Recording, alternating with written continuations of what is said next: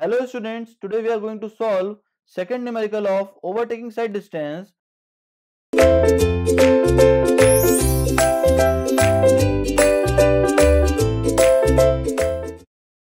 Question is given as on two-way traffic road, speed of overtaking and overtaken vehicles are 65 km per hour and 40 km per hour.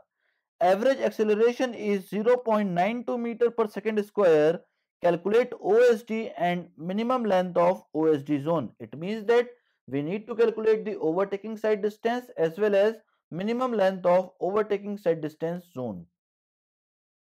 Now we know that VA will be equals to 65 km per hour which is already given in the question and VB will be equals to 40 km per hour acceleration small a will be equals to 0.92 meter per second square and reaction time will be equals to 2 seconds as per Indian Road Congress.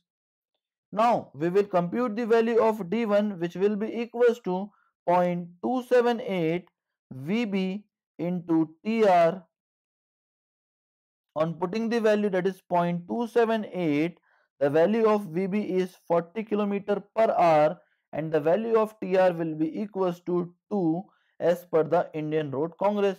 On solving this, we will get the value of D1 as 22.24 meter. Now, we need to compute the value of capital S which will be equals to 0.2 VB plus 6 on putting the value of VB as 40 kilometer per hour plus 6 it will be equals to 14 meter. That will be the minimum space headway. Now capital T will be equals to under root 4s upon a. Here the value of s is 14 and the value of a is 0.92 on solving this we will get the value of capital T as 7.8 seconds. Now d2 will be equals to 0.278 VB into capital T plus 2 into S.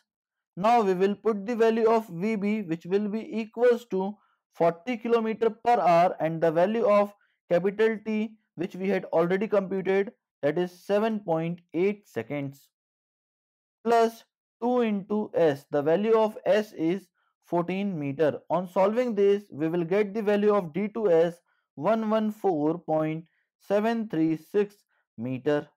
That will be the value of D2. Now we will compute the value of D3 which will be equals to 0.278 VC into capital T. Now the value of VA and VC will be same so it will be equals to 0.278 into 65 into 7.8.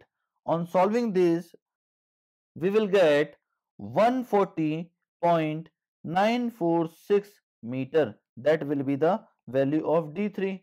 Now we need to compute the value of OSD which will be equals to D1 plus D2 plus D3. Now D1 will be equals to 22.24, D2 will be equals to 114. 736 and D3 will be equals to 140.946. On adding these three values, we will get OSD is equals to 280 meter. That will be the overtaking sight distance. Now, minimum length of OSD zone will be equals to 3 times of OSD. Now, on putting the value of OSD as 280, it will be equals to 840 meter.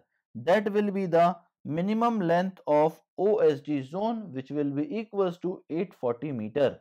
That is all about this numerical. Thank you very much students.